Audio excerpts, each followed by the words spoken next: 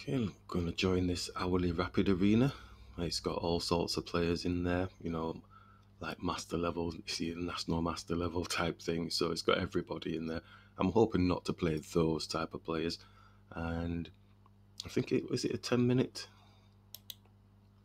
yeah 10 minute rapid play and it's got an hour and something left so we'll see how we get on anyway let's join maybe we can practice the uh, potential value of the move situation that we're currently in. Bring in the logical and creative thinking get get some management of those.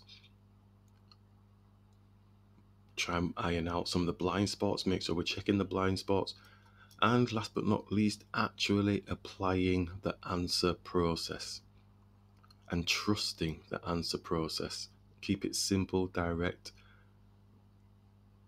to remove pieces from the board strategically. And then we should be okay. And seeing as it's a 10 minute one, it looks like because I've joined late, I'm going to be waiting a while.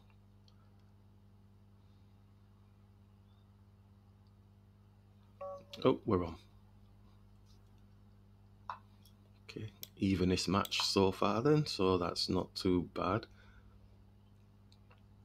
So just blocking off the pawn, and they're taking their time. I was start, starting to think about taking the gambits all the time, but you know, I'm comfortable just developing a piece because when you do take the gambited pawns, you lose tempo in developing a piece. And that's the whole idea behind the gambits, in, in a sense. So at least I'm getting to develop my pieces out. Are they in the appropriate positions? Based on my experience, yes, they are so far. So just opening up the dark squared bishop now. I have to be mindful the queen is chomping at the bit to come here to put a check on, but it is easily defendable at the moment. So I'm going to attack the bishop. Usually they go back because they want to open up the rook so that it's facing here. And he's not done that this time, so I'm going to go and castle. That should be okay.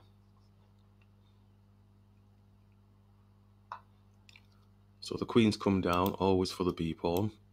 So do we lose tempo? I'm not really a fan of it, but I, I, do do this move anyway. Somehow they seem to win the smallest of tempo when they do that. Okay, so now he's got two pieces on there. He's got the knight and his queen. I can't take because he's going to take my queen. So that's what I'm saying, that that loss in that tempo, I feel like I lose something when this happens and I still fall for it every time. So we're down a pawn already. So we could attack the bishop now because it looks like we've lost whatever it is on this side here. So we're not panicking. We're just going to stick with the um, answer process. Just going to attack higher piece with a lesser piece. And obviously we can't take this pawn because he's going to get the pawn back anyway. So we're going to take here. So keep it simple. See what other distress we can cause. We've still got two pieces on. In fact, now we've got free protection here. So we can now actually take the pawn. So for a moment, we've got it back.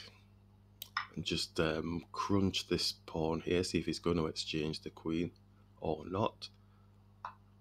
He's not. And what? Am I falling into a trap here? I'll take the queen for free.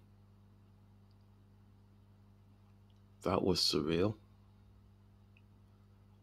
Wow, they had us under pressure on this pawn here when we lost the tempo.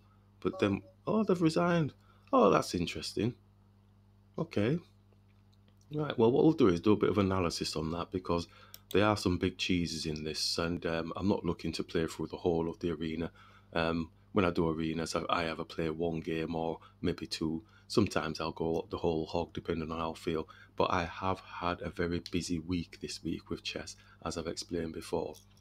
So this might be just the one that I do because um, it, it's a good example of the answer process being used. And that's all really what I'm trying to demonstrate for myself. I'm not on here to try and win tournaments or anything like that. Um, so push through and blocked here. Now, so we developed the knight.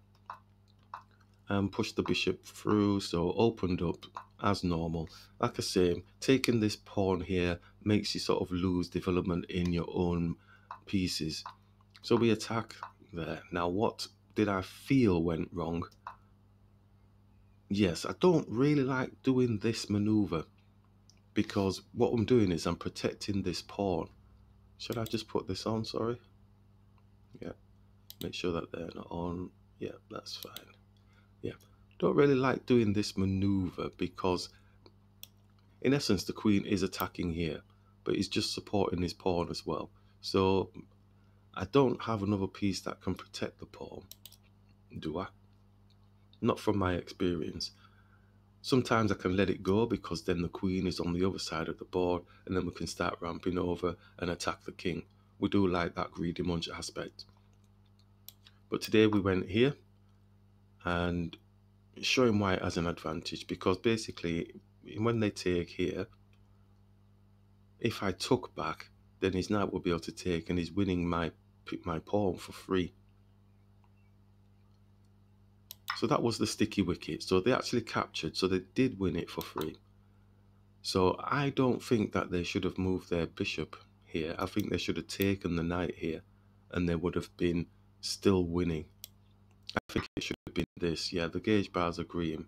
Because then if I go here, then I suppose they continue with the, the capture. We can bring this here. I'm just playing as a human. It's obviously obviously showing that that, that wouldn't be correct for them. But that's what I would have pictured as a human player playing. So we attacked here, and the computer's saying bishop, yeah, bishop take there. So that didn't change. And then it's saying e4. Oh, leaning on the bishop. Okay. Right. So yeah, that would be quite nice. I can't go any further because it's a computer. So, right. So in that sense, plus with that pawn maneuver, do they have a and like I said, I can't because he's got X-ray through to my queen, which is a bit shabby. So we're thinking attacking the bishop is a good thing. We did expect it to take you know, take the knight, but it didn't he didn't, she didn't. So that gave us an advantage apparently, so from the evaluation. So we continued attacking. So the idea was just a smaller piece attacking a higher piece, basically relying on the answer concept and just capturing pieces now strategically, just getting it off the board. And then now we can capture. But see the gauge bar, it's not showing that that's a favourable move for us but I felt it was favourable because we'd got the pawn back and we'd improved our position on the board. I was more more interested in actually getting an improved position on the board than actually grabbing the pawn back. And the computer doesn't like the capture, but it's still showing white as winning, even at this stage, because the queen should be taking the queen. But I think they forgot that their queen was under pressure, so then we could capture, and that's when they resigned. So the smallest of detail, I mean, this was like a 1700, so it's not like small potatoes. Um, even the higher level players or intermediate level players, or whatever you want to class them as, make these types of blunders, you know, unprotected pieces. And it's a key thing if you're trying to develop and work. I mean, I, I drop pieces uh, quite often. I'm trying to avoid doing that. I'm trying to improve the position on the board, as you can see in the early part of this, this game here. Um, didn't quite play it as correctly as I would do normally, I don't think. I don't think. I just want to go back again because let's see again. So there, there, knight comes through, bishop here, bishop's there. I'm looking to attack the bishop. I would do that there. Now, queens come down. The queen has come down. I have to do something about this pawn. Or I can just take this pawn, right? I take this pawn. Does his queen take this pawn or this pawn? He'll probably take this pawn because he's in on the rook. Yep. I can then move my knight out of the way.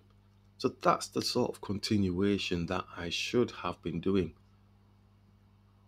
simplest, smallest of detail. Actually take, because my pieces are now developed. That's a key thing because we said that we don't usually take this gambit, this pawn for the gambit because we don't get to develop our pieces. But I think a good lesson learned for me today is my pieces are developed. Now, the only one that isn't really is the knight. The rooks can come later. Look at the opponent. He's got two pieces that aren't even developed yet. So we're up in development. So we shouldn't really worry about this pawn. Just take this pawn off the board. Simple. So that's a very crucial game, actually. I think that's a, an interesting lesson for myself in dealing with the gambits at the right moment, at the right time.